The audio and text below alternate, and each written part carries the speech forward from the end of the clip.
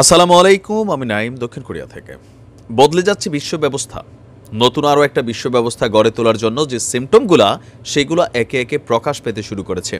গেল কয়েকদিন আগে, রাশিয়ার প্রেসিডেন্ট পুতিন এবং চীন প্রেসিডেন্ট আপনার শি জিনপিংয়ের একটা মিটিংয়ের পর দুই দেশের এই সুপ্রিম লিডাররা সিদ্ধান্ত নিয়েছিলেন যে নতুন একটা বিশ্ব ব্যবস্থা তারা গড়তে যাচ্ছেন। সেই বিশ্ব ব্যবস্থায় গত একশো বছরের পৃথিবী যা দেখে নাই, এবার তাই দেখবে, আর কি দেখবে, আসেন আবার আমরা দেখা শুরু করি।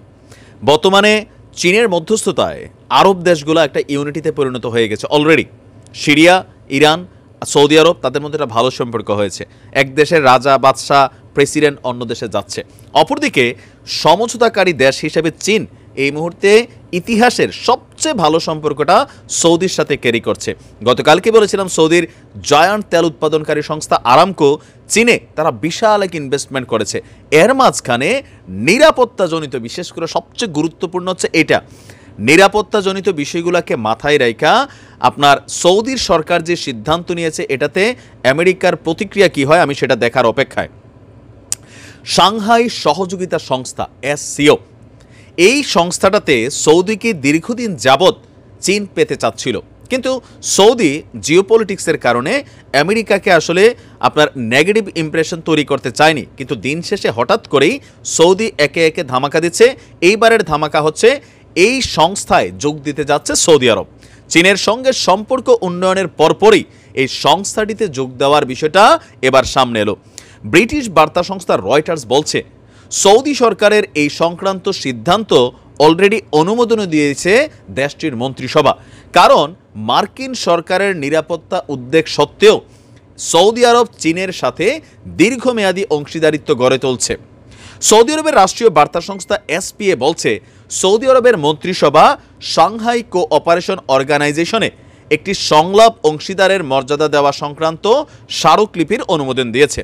দর্শক, এসসিও হলো চীন, ভারত এবং রাশিয়া সহ ইউরেশিয়ার বেশিরভাগ দেশগুলোর সমন্বয়ে গঠিত একটি রাজনৈতিক এবং নিরাপত্তা ইউনিয়ন। দুই হাজার এক সালে রাশিয়া, চীন এবং মধ্য এশিয়ার সাবেক সোভিয়েত রাষ্ট্র নিয়ে এই সংগঠনটা তৈরি হলেও এখন এটার গতিপথ ভিন্ন দিকে। সেখানে এশিয়ার অনেকগুলো দেশকে কানেক্ট করার চেষ্টার পাশাপাশি মধ্যপ্রাচ্যের যে আরব দেশগুলো আছে, যারা ধনাঢ্য দেশ তাদেরকেও সেখানে চাচ্ছে। কারণ এখানে একটা সামরিক ইউনিট বা সামরিক সংস্থাও তারা করার প্ল্যান করছে পশ্চিমাদের বিরুদ্ধে।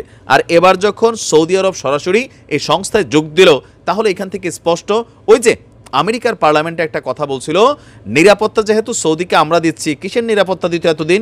ইরানের হাত থেকে, ইয়েমেনের হাত থেকে। তো ইয়েমেনের সাথে ইরান একটা ডিল করে দিছিনি যে ইয়েমেন আর আক্রমণ করবে না সৌদিতে। তো সৌদিতে এই মুহূর্তে আক্রমণ করবে এমন কিন্তু আর কোনো কি বলা হচ্ছে, ভয়, ভীতি বা হুমকি ধামকি নাই। আর ইরানও তো দুস্থ হয়ে গেছে। তার মানে সৌদি এখন রিল্যাক্স মোডে আছে।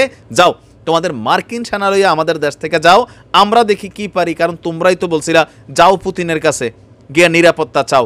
এগুলোকে আমার কথা নাকি মার্কিন পার্লামেন্টে বসে ওই দেশের সাংসদরা সৌদিকে হেও কইরা এই কথাগুলো বলছিলেন? বলছিলেন, আর আজকে চীন সেটাতে এসে সিস্টেমে সৌদিকে ঢুকাইয়ে দিল। এই অঞ্চলে পশ্চিমা প্রভাব মোকাবিলায় একটি বৃহত্তর ভূমিকা পালন করার জন্য এই এসসিও গঠন করা হয়। পরবর্তীতে ভারত এবং পাকিস্তানকে অন্তর্ভুক্ত করার জন্য সংস্থাটি আরও প্রসারিত হয়েছে। ইরান গত বছর পূর্ণ সদস্যপদ পাওয়ার জন্য নথিতে সইও করেছে। প্রতিবেদনে বলা হয়েছে, গত বছরের ডিসেম্বরে চীনা প্রেসিডেন্ট শি জিনপিংয়ের সৌদি আরব সফরের সময় এসসিউতে সৌদি আরবের যোগদানের বিষয়টি আলোচনা হয়েছিল। সংলাপ অংশীদারের মর্যাদা সংস্থাটির একেবারেই প্রথম পদক্ষেপ। মধ্যমেয়াদে সৌদি আরবকে পূর্ণ সদস্যপদ দেওয়ার আগে ডায়লগ পার্টনারের মর্যাদা দেওয়া হচ্ছে, তার মানে ম্যাটার অফ টাইম সৌদি সেখানে রাজত্ব করবে। এভাবেই একত্রিত হইতে হবে, খেলতে হবে। পশ্চিমারাও খেলার জন্য জোট বাঁধছে। দেখা যাক কোন দিকে যায়। ভালো থাকুন। আসসালামু আলাইকুম।